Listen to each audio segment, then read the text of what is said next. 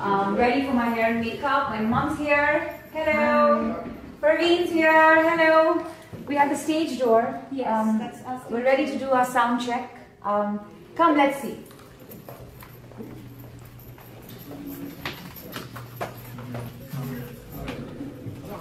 Whoa, that's that's amazing. We have Okay, guys. our dancers here. Just one quick run through. Everyone out, please. Everyone out. Faster.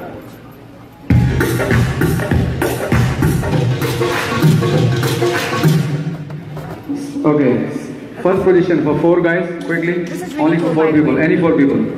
Come, let's go back and start our makeup and hair. Doesn't Back matter. for the show. Next, six. Sound check now? Yeah. Boys out.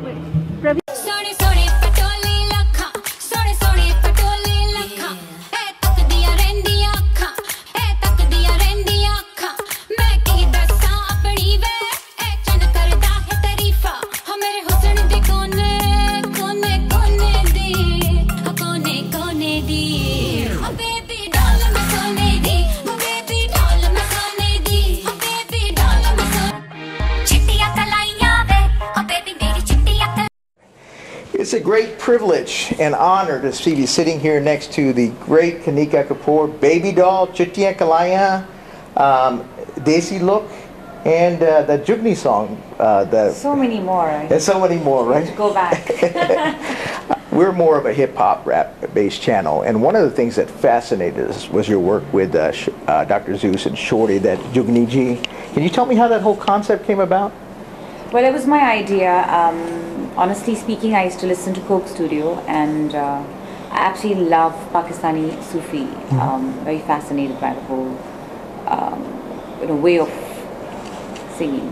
Um, so I picked up that song. I used to sing Jugni all the time, um, and I took it to one or two different producers, and I and I asked them. I gave them my vocals, and I asked them to you know put a mix. Um, I gave them a what I wanted, and uh, I knew exactly that I wanted a, a British rapper mm. or a rapper gotcha. on it.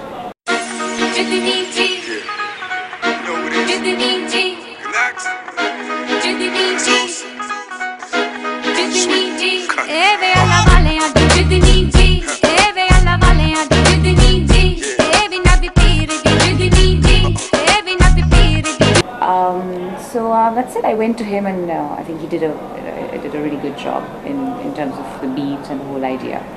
And uh, that's how it came about. I mean, it, it was as simple as that, to be honest. How do you feel about hip hop and rap music in general, both on this side of the pond in America as well as the British artists?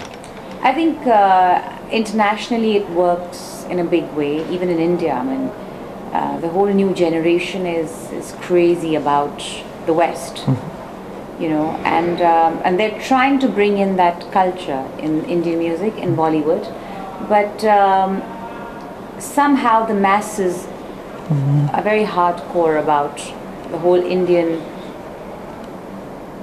tacky lyrics. Gotcha. I mean, honestly, I mean, if you. I, I But they feel good, this, they- you know? Somehow, it's just more Yeah. open. It's, it just feels more free for us to be able to just say whatever we want. You know, we don't hold back. Gotcha. So uh, it could be anything. The lyrics could be as, uh, you know, um, as much as uh, they sometimes mean nothing. Gotcha. And uh, at the same time, we have another uh, different genre of music which has beautiful, um, you know, ballads and, and soulful songs with meaningful songs, um, Sufi songs, spiritual songs.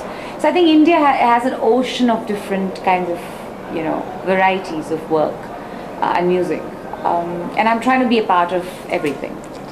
Chittiya Kalaya Baby Doll. Whether you're 8 or 80, you can't help but dance to that. How, where did that concept come about? That was that. I mean, you don't even hear it; you feel it. You cannot hear that song and not move. You know. I don't know. I think uh, the credit goes to uh, the lyricist, uh, the composer, and the singer. I think it's teamwork.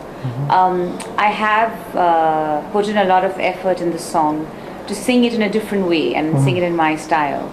Um, maybe that's what's working. Gotcha. because I never like to copy and sing. Gotcha. I like to sing in my own style. Um, and uh, I don't know. There's something that works. Can you tell us about your up and coming projects? Because you got fans all over the world now with those two songs. I have. Uh, I've had almost nine songs now, so uh, I've just released uh, a new song called Teddy Bear. Okay, Teddy Bear. Look for that. It's not Teddy Bear. Uh, teddy Bear. Teddy Bear. That's how we Indians pronounce it. okay. so you all have to hear the song, uh, the Teddy Bear song. Or I have.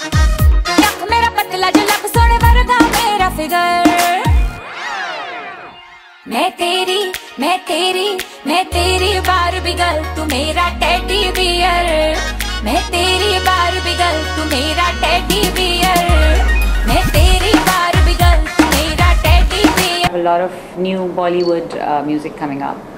Um, another new one came out yesterday uh, in, in, Kapil Sharma's movie, which is gotcha. a new movie coming on the 25th of September. Gotcha. Uh, there's so many more. I mean, I think almost every two, three weeks there's a song coming.